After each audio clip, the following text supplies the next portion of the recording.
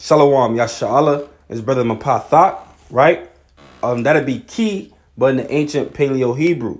And this is going to be a super quick video, right? Just a reminder for my brothers and sisters out there, right? That the overall message, right? The overall message is repentance, right? And chiefly, right? I want to say chiefly because you're not going to only be teaching on the highways and byways, but chiefly when you're on the highways and byways, right? And you're dealing with a brother or a sister, right? You have to remember that the overall message is repentance, right? Because I see this a lot, right? I watch a lot of videos where a lot of times brothers is just out there kind of just what they say in the road, just kicking it, right? Or what they say in the road, just kind of just talking shit, man, right? Just to make it plain. Not trying to use um, vulgar language, but hey, a lot of times brothers just out there just kind of just talking shit, man. Just just like just kicking it, man. Right? And a lot of times I would see when um brothers or sisters will walk up and um they're interested to know what's going on. Who are these brothers out here with Bibles in their hand? A lot of times brothers are just be out there um professing their own knowledge. You understand? They go into a bunch of different precepts and a bunch of different things that they want to talk about. But the Most High God and Yahawashi said the message is to teach our people to repent, for the kingdom of the Most High God is at hand. Right? To repent, or they're going to be put to death. Repent, or they're going to perish. Right? So, if a brother or sister comes up and tries to get the word, and you done taught them about the Passover, you done taught them about fringes, you done taught them about the Feast of Tabernacles and all these different things that they have literally no understanding thereof, right? They have no understanding of these things.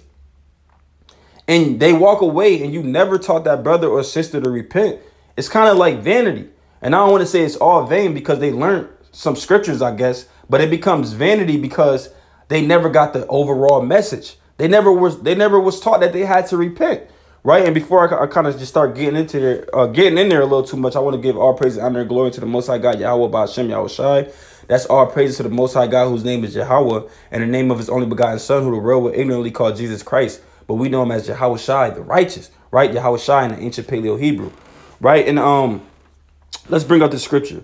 So this is the book of Second Ezra, chapter 16 and verse 67. So just to show what exactly repentance is, right? Because the Christian church, they would say repentance is just saying sorry, Lord, getting baptized in some damn dirty so-called holy water, right? And then just going back and doing whatever wickedness that you were involved in. But that's not true repentance, right?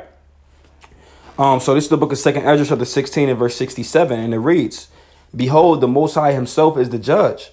Fear him, leave off from your sins, and forget your iniquities, to meddle no more with them forever. So that's how you repent. You leave off from your sins, right? And you forget your iniquities right? And you meddle no more with them forever. That's true repentance. It says, So shall the Most High lead you forth and deliver you from all trouble. And then when you repent, the Most High God is going to guide you from thence. The Most High God is going to allow His Spirit to, um, to dwell within you, right? When you repent and turn from your wicked ways. You understand? Because the Spirit of wisdom, right? The Holy Spirit cannot dwell in the, um, a wicked vessel, an unclean vessel. So you have to repent first and be cleansed through the um through the um spirit and power of Yahweh Bashim Yahawashi right? And this is the message. This is the message, right? This is how you get the blood off of your hands, right?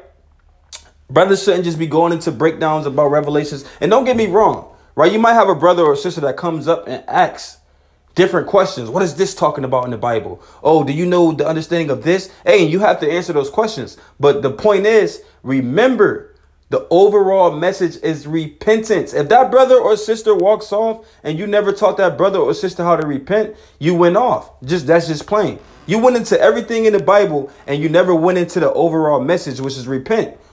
Right? Which is to tell them to repent or die, man. Repent or they're going to perish, man. Right? You didn't get the blood off your hands. You understand? For example, right? You got a brother walk kind of walking in the middle of the street. He don't see this bus coming, and you telling him everything. You telling him everything, but except that bus is coming, right? And that he had to get out of the way of that bus, right? You kind of going, you kind of telling, hey, whatever it may be. You talking to the brother about a bunch of things. You yelling at him, hey, brother, you seen that football game yesterday? The, the bus still on the way down the street, about to hit him. Hey, brother, you see, you talked to that that one sister yesterday, right? But you never told that brother, hey, watch out, the bus is coming. That's kind of how it is when you damn teaching somebody and you taught them everything but how to repent and that they had to repent. It, it becomes vanity. You understand? Let's go to Matthew 4, right? This is Matthew 4 and verse 16. And it reads, The people which set in darkness saw a great light. And to them which sat in the region and shadow of death, light is sprung up. And that light is Yahawashi. Yahweh Shai also being the word. Right? It says, From that time, Yahawashi began to preach. Now, let's see what Yahawashi was preaching when he was walking the earth. Right? It says, For that time, Yahawashi began to preach and to say, Repent, for the kingdom of heaven is at hand. So that's what we're supposed to be teaching. That's the over that's the overall message. Is to teach the so-called blacks, Native Americans, and Hispanics, right, the biblical Israelites, to repent and to turn back and to seek the Most High God's face. That's the overall message, right? That we can now repent through the blood of Yahawashi and come back into the covenant and keep the commandments, right? If you're not teaching people to repent, then you're just out there, you're out there in the wrong spirit. I'm just saying like that, right? Let's go to Mark. You damn teaching them about the Passover, right? You talking about the Passover, and they have no clue what you're talking about. They never heard the word Passover in their life. You're talking about the Feast of Tabernacles. They have no clue what you're talking about. You're talking about Zerubbabel. They have no clue what you're talking about. But you never taught them how to repent, man. You went off. Um, so this is the book of Mark, chapter 1 and verse 15. And it reads, I'm gonna start from 14, right? It says, Now after that, John was put in prison Yahawashi came into Galilee, preaching the gospel of the kingdom of the Most High, and saying, The time is fulfilled, and the kingdom of the Most High is at hand. Repent ye and believe the gospel. This is Yahawashi once again. What was he teaching? He was teaching Israel to repent and believe the gospel because that's the overall message. That's what Yahawashi was teaching. That's what the apostles was teaching. And that's what we're supposed to be teaching, right? Don't forget what you're what you're out there on the highways and byways for. The overall message is to bid people to the um, marriage, right? To bid people into the um the marriage of Yahushua, right? And how are they going to have that white garment and be prepared for that wedding? It's through repentance. That's how you clean off the stains off of your garments and and and, and prepare before Yahushua with that um beautiful white garment. It's through repentance, man.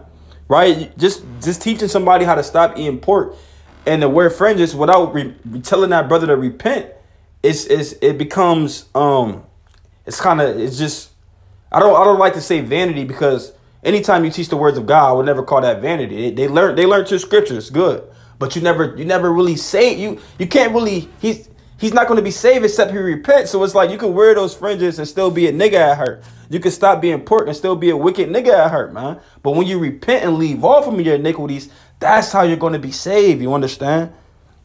So you got to remember what the overall message is. The overall message is repentance, right? And I'm gonna, I'm gonna keep reiterating that point, right? And it's something I've been meditating on, right? Is is is that you have to teach our people to repent, right?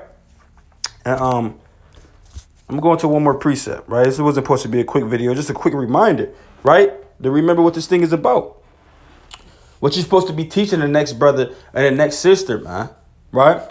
So this is the book of Luke chapter 13 and verse 3, and it reads, um, I tell you nay, but except you repent, ye shall all likewise perish. This is all Yahawashi, right? These these these were all Yahawashi. These last three scriptures I read about what Yahweh there oh, Salaki about repentance is, is what Yahawashi was teaching when he was walking the earth, teaching people to repent. Right? I'm gonna read that again. It's one of my favorite precepts to pull in the highways and byways. Luke 13 and verse 3, and it reads, I tell ye nay, but except you repent, ye shall all likewise perish. And that's just plain, man. That's the because that's the message. That's what, what what was being taught, and that's what's supposed to be being taught is to repent or die. Repent or you're going to eat a missile. Repent or you're going to be destroyed when Yahawashi returns. Repent or you're going to die in nuclear fire, man. That's the overall message, man. Right? It's to teach people to repent. You understand? And that's how you get the blood off of your hands. Right? If you be like, okay, I got the blood off my hands, man. Right? I taught that brother he got to repent. If he don't do it, that's on him. But if you just taught the brother about, you just broke down the whole book of Joshua to him and you never taught him how to repent, you didn't get the blood off your hands, man. Right? And with that, Lord willing, brothers and sisters got the understanding thereof. I want to give all praise, honor, and glory to the Most High God, Yahweh Bashim Yahawashi, right? And Shalom Yasha Allah.